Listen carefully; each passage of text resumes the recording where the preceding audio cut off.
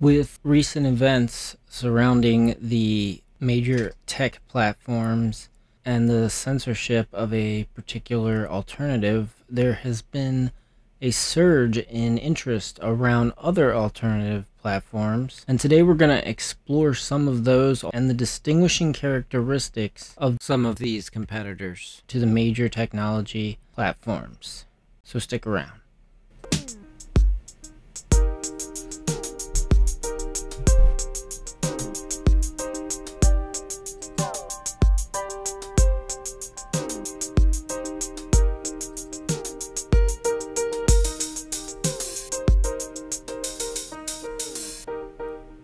Hello, hello, wonderful and amazing people. I am Jay, and you're watching DS Tech Media, where we cover everything tech from gaming to servers, hardware to software, but specializing in Linux and open source technology.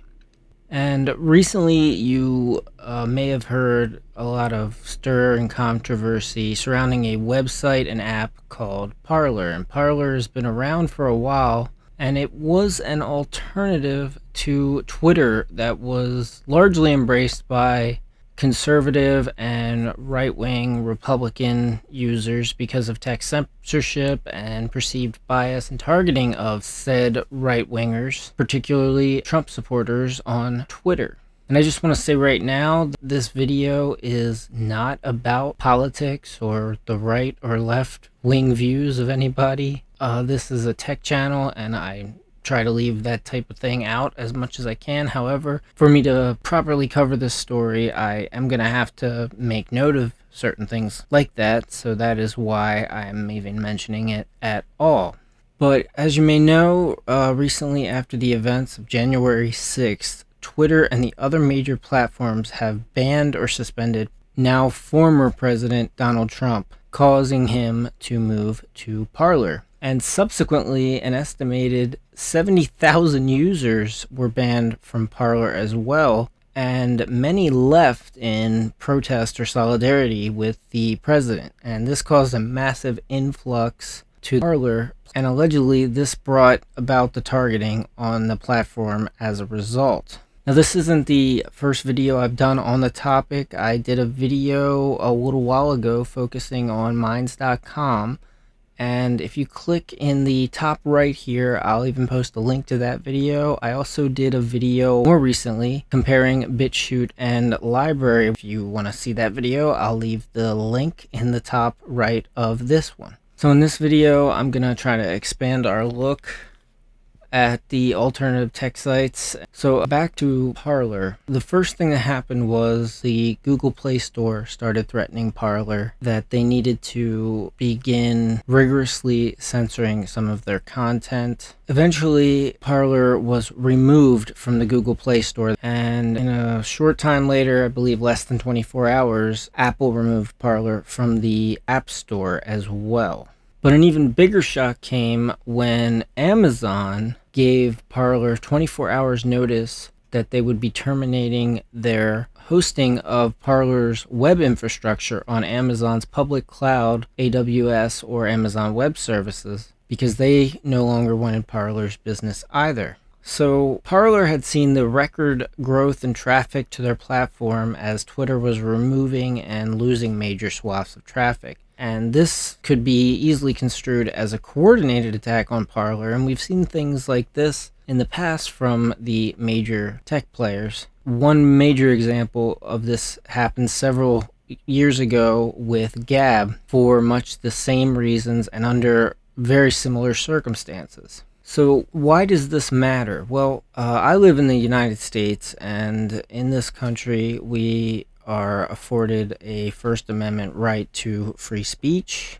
And an argument against that is often that these are private companies and that they can do what they want. But also at the same time, these private companies are afforded federal protection and privileges under something called Section 230. Section 230 gives them freedom from responsibility for what is posted by their users because they are a platform and not a publisher. Whereas if they were a publisher, they would be curating censoring and editing the content on their platform, which technically would make them subject to legal obligations derived from that content. So in this situation, we have a kind of blurry boundary where they are afforded federal protections, meaning they're supposed to be neutral and objective from everything posted to them, as long as it's not illegal. But by choosing to censor and curate certain content, many would argue that they should no longer have their protection under the status of Section 230. Okay, so here are some of the platforms I want to cover today. Let's start with uh, the Twitter alternatives. Parler uh, was the obvious Twitter alternative, and they have actually been removed entirely from AWS. But recently, I've discovered that they are back online and that they have a new host, but you still cannot really use the site. So, the next Twitter alternative I'd like to look at is Mastodon. And Mastodon is a lot like Twitter in many ways. One unique thing is that it uses what's called a decentralized and federated model, often referred to as the Fediverse. And this means that there are many instances of Mastodon. However, those instances, though they have their own groupings and users, can communicate between one another in certain cases as well. It, it's a bit confusing. Uh, for instance, I am on mastodon.social. But if you go to instances.social, we can get a list of various Mastodon instances. And as you can see, there are a lot of them. They even have a wizard to help you figure out the best instance for you. You know, you can choose how many users you want your instance to be around. Uh, this will refers to illegal, pornographic, and nude content, not safe for work content, and this will help you narrow down the various Mastodon instances. Additionally, there are various clients and desktop applications for Mastodon, and of course, there are apps for Mastodon for iOS and for Android. Gab is another Twitter like alternative that has actually expanded a lot over the past year. They now have a pro service called Gab TV. It allows you to upload video into your account. And Gab began mostly as a Twitter alternative, but I think more recently it's become a little bit more of a hybrid between Facebook and Twitter. And when Parler was destroyed, a huge influx of users definitely gone over to Gab. So this is Minds.com. And I would say that Minds.com is solidly a viable alternative to Facebook. I no longer use Facebook personally, and I actually use Minds.com quite a bit. I'm pretty active in the art of video editing group, and I'm also in many Linux and open source technology groups on Minds. I enjoy Minds quite a lot. Uh, Minds also has its own cryptocurrency token that's used to promote your content if you're a content creator and as a way to pay content creators that you like. And you receive tokens for anything that you do that is upvoted or shared. And as i said before i've done a more extensive video on mine that you can watch if you would like to know more.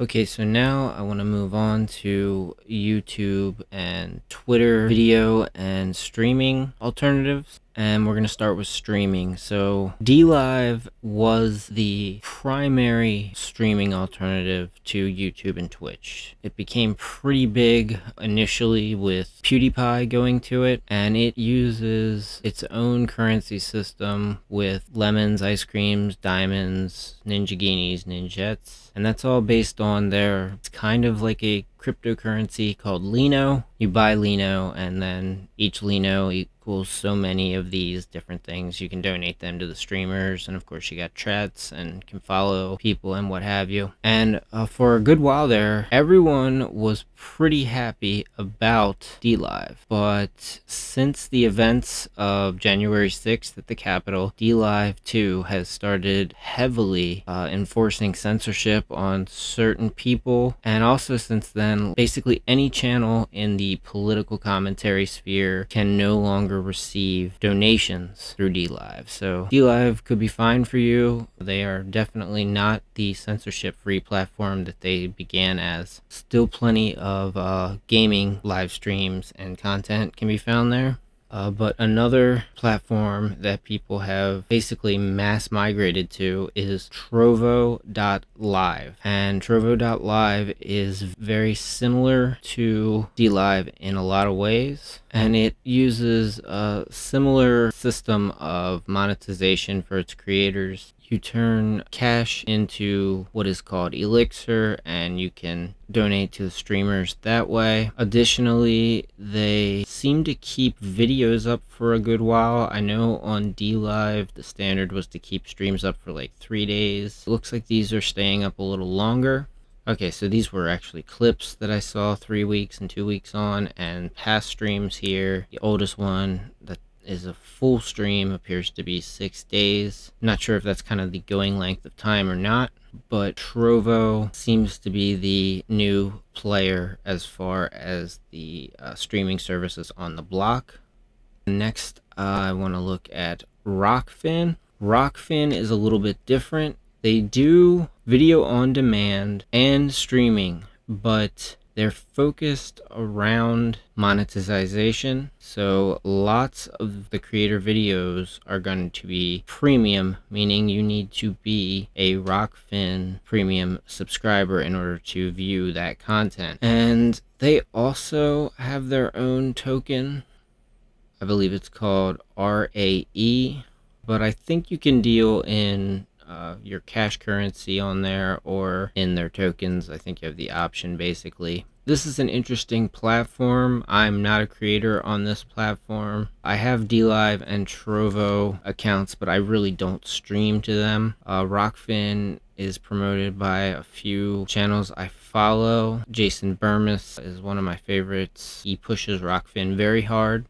Next up is Rumble. Rumble is basically YouTube I think minus the streaming. As far as I know, Rumble does not have any streaming capabilities. From what I've seen, seems to be a lot of uh, right-wing conservative people on Rumble, but it was just a platform I thought I would mention. And next up, we have LBRY. LBRY. I'm actually a big fan of this platform. They have LBRY.tv, but the primary way of using LBRY is their app. They also use their own crypto token, which is called LBRY Coin LBC. Users on LBRY have the option to charge LBC for their videos or they can make them free and you can simply tip LBC. Additionally, you earn the token for watching videos. They also have the added benefit of syncing with my YouTube channel. Here we have the LBRY app. They also have a LBRY app available for Windows, Mac OS, Android, iOS, and also for Linux. You can watch through uh, LBRY.tv or through the app, but more recently they've launched a site called odysee.com. Odysee is basically their answer to YouTube. Uh, there are some differences between the way things work on Odysee versus the app.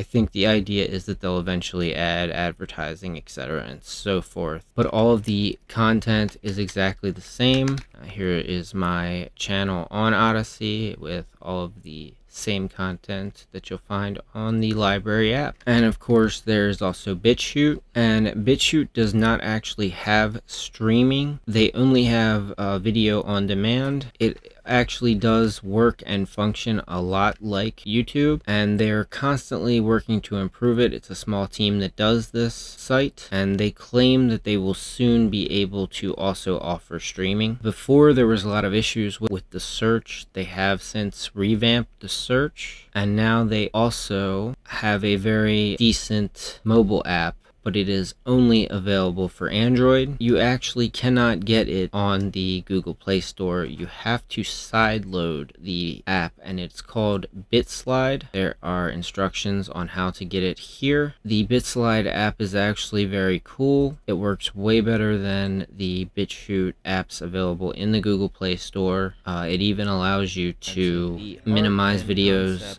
to the bottom of the app while you continue to use the app for browsing. And what's even cooler is you can completely put the app into the background or even lock your phone and the app will continue to play. Another important mention is DTube. DTube is set up much the same as YouTube. DTube allows you to upload directly to their platform or reshare your third party link through BitChute, YouTube, or anywhere else really. And DTube was originally built on the Steemit blockchain and used Steemit currency and had very tight integration with Steemit. Uh, now they actually have their own crypto token, which is called DTC, but they still integrate with Steemit and also with Hive. The fork from Steemit Steemit and Hive are actually both blogging platforms and I post a lot of content there. Sometimes I'll offer like additional information on my guides and tutorials and things here. And you can earn crypto through Steemit or through Hive. And Hive is actually a fork of Steemit, which is way too much to get into right here. I may explain that in a different video, but I actually use Hive via something called PeakD. And it is essentially the same exact platform as Steemit, except with much better features. Hive is newer and is more of the community platform, and it was actually created after a revolt of a majority of Steemit's original users. All of my posts that I make to Hive via PeakD will appear on any Hive platform, of which there are many, and they'll also appear on my uh, Steemit account. So whichever one you would prefer to use, you can follow me on either one. And there are various apps available for mobile for these. And the one that I tend to use is called Hive Blog. It is powered through the PocketNet app Okay, so the last category we're going to look at are messengers. So these are going to be alternatives to Facebook's Messenger, maybe to Skype, and to Discord. So this is Telegram, and Telegram is a great alternative to Discord, WhatsApp, and others. You can send video and images and all forms of media. There are groups. There's also video and voice chat for groups. And most significantly, Telegram also uses encryption for all of your communications, and the entire system works in the cloud. It was founded by uh, the developer Vitalik Buterin the tech entrepreneur from Russia who has also created the Russian Facebook alternative VK. And more recently, I've seen a lot more people using Telegram, even content creators, as a way to get their content out to their fans and interact with them. And of course, it works on just about any platform, including Linux. Next up, we have Signal. Signal is another messenger that is focused around privacy and security via encryption. It offers video and voice chat, text chat, sharing of media, and of course, uh, group sessions for all. Signal has become a uh, popular tool among the various protest movements around the world, such as in Hong Kong and in Portland with Antifa. And also with the yellow vests, I believe the one drawback to Signal is that it does require a phone number in order to work. So that is how you're identified persistently is through your phone number. And in order to activate the desktop app on Linux, I had to scan a QR code with the Signal app in my phone. But an additional feature that you get is that Signal can act as your SMS text messaging app. So it's not all bad, but privacy and security enthusiasts have often criticized the use of the phone number as a major drawback with Signal. According to the company, they do not store any information, not even metadata. So there you have two viable chat and messaging services rather than your Discords and your Skypes and all the others.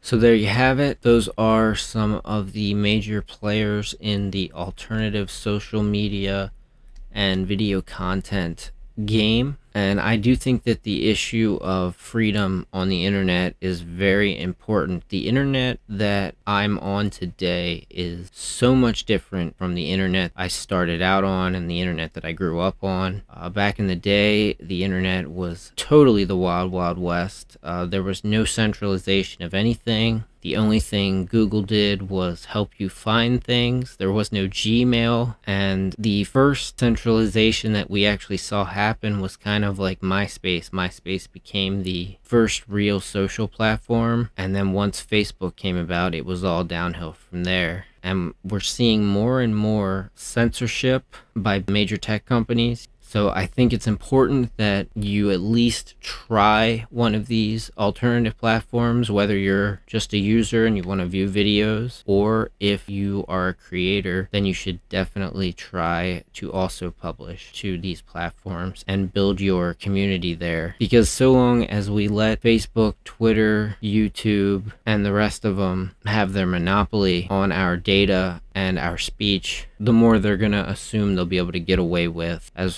far as selling our data and censoring our thoughts and what's acceptable. Anyways, which one of these alternative platforms are you using? Let me know. And like I said, give me a follow there. And if you are watching this on YouTube, please like, share, and subscribe. Let me know which major tech platform you can't live without. For me, it's probably YouTube. It's kind of hard for me to leave YouTube behind.